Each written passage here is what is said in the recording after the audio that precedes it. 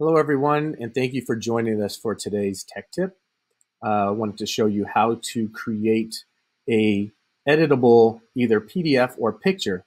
Um, during distance, distance learning, I know some of you have uh, documents that you want to use. However, they were not, you're not able to edit them. So I'm going to show you how to create an editable uh, PDF or picture. You can even upload a picture to this and do the same thing that I'm going to show you how to do. So all of those uh, worksheets that you have or documents that you want that were not editable, editable because they weren't in Google Docs or something like that, this is a way to quickly do that. So the first thing I'm going to do is I'm going to take a snapshot of this. And all I did was Google this uh, as a biology worksheet. Uh, again, you can upload your own picture. If you take a picture of the document you want, you can do the same process on this.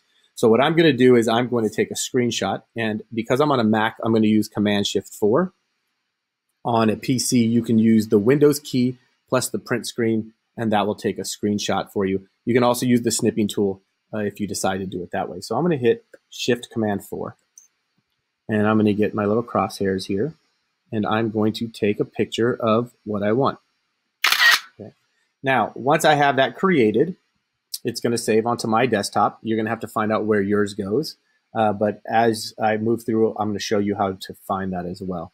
So I'm going to open Google Slides and I'm going to open a blank document. Okay, now what you'll notice is that this blank document is not in the same dimensions as a sheet of paper is what is, is really what you want. So we're going to change that. We're going to go to File and we're going to Page Setup. And when I hit Page Setup, it prompts me to choose. Now you'll notice that there's not an 8.5 by 11 in here, so I'm going to hit Custom and I'm going to change this to 8.5 by 11 inches. And I'm going to apply it. Now, what you'll notice is it looks like a sheet of paper. So the next thing that I'm going to do is I'm going to delete these text boxes because I don't want them. And if you click on the little box up here, they're easy to delete. Oops, there it is. And there they go. And they're all gone. So now what I want to do is I want to make my image my background. So I'm going to go to this button here, background, and I'm going to choose my image.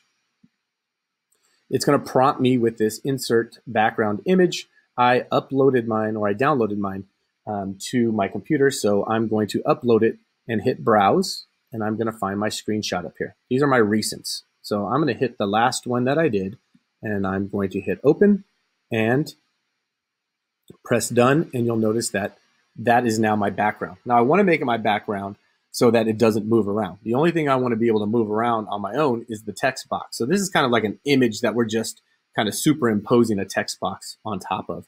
So I'm going to make this a little bit larger for you and for me, to be honest with you.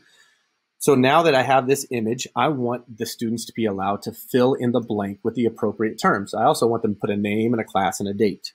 So what I'm going to do is I'm going to go to this text box up here and I'm going to click on it and you see the crosshairs and I'm going to create a text box.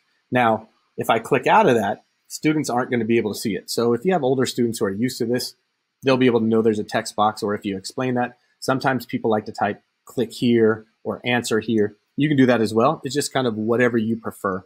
What I like to do is I click on that box, it's still there, but I go to the bucket and I want to fill it with a color. So that way it's definitely there. The kids definitely know that they have to fill it in. And so this is a good indicator for me and for my students that there's something there that has to be done. Okay, I'm going to show you again. Hit text box. I'm going to go to the next one and I'm going to put in there and now it's automatically filled. If yours doesn't automatically fill, you can hit the bucket again and fill it with whatever color. I choose yellow because it's kind of bright and, and I like it. Um, but that's the way that you um, add a text box. Okay, here's one more for you. Okay, once again, and that time it didn't fill, so I'm going to go over here and I'm going to hit the yellow. Okay, this is how you can go through and put put these places, the text box places that you want the students to answer. You can make them larger or smaller by adjusting the box here. Okay, now before you assign these to students, remember that you have to share it. Okay, I'm going to give this a presentation title before I do that. Okay, and I'm going to go up here to share, click on that, and I'm going to click get a link. and I want it, I normally put it to anyone with a link. And I want to make sure that they're a viewer. So I'm going to hit done. Actually, I'm going to hit done, sorry. Um, and then what I want to do, because I want the students to be forced to make a copy of the link, is I'm going to take off that last part that said edit. And I'm going to hit copy, or I'm going to type in copy, and then I'm going to hit return. And now if I take this URL, I can paste it and it will force students to make a copy of their own.